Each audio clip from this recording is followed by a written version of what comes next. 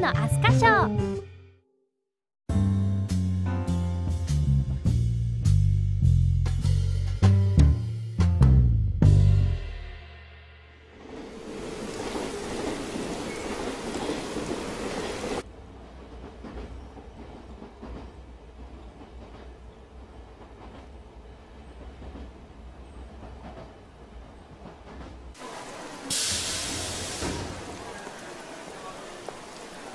まもなくドア閉まります。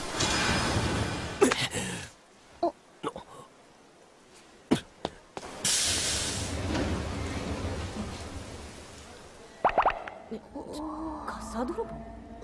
ぽいよね。あの子の傘でしょ？多分。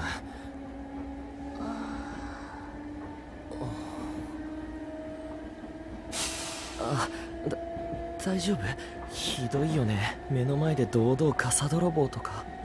いえ。あの人は泥棒ではなくてきっと間違えただけなのです。おそらくあの人は私と同じくシートの端でああやって傘をかけて座っていたのでしょう。そしてさっきの駅で降りた。と。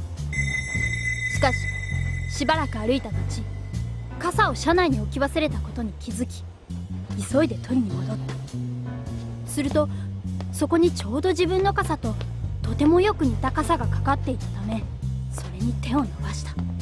慌てていたので距離感が曖昧になっていたのではないでしょうか。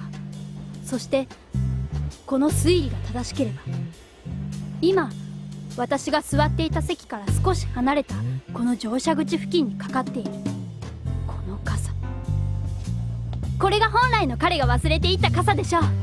その証拠に私の持っていた傘と非常によく似て。これ僕の傘ですけど。